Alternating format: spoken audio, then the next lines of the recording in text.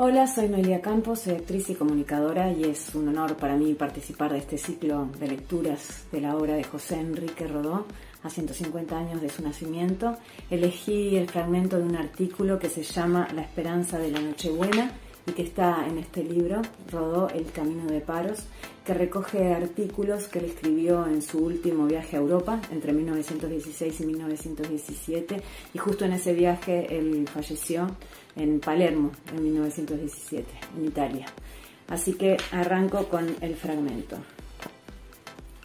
Señora, hace 1916 años que esa voz propagó la buena nueva de una ley de caridad y de gracia. Si desde entonces ha habido gloria en el reino de Dios, lo sabrán los astros del cielo, que no quieren conversación con nosotros.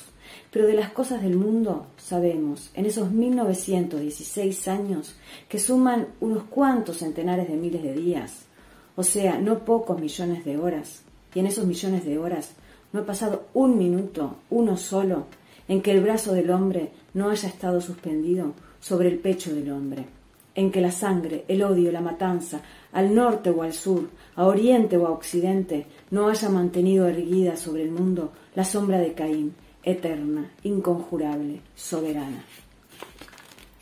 Guerra para resistir la ley del Dios de amor y guerra para difundirla, para imponerla en climas remotos, para resguardarla del error, para interpretar una palabra suya.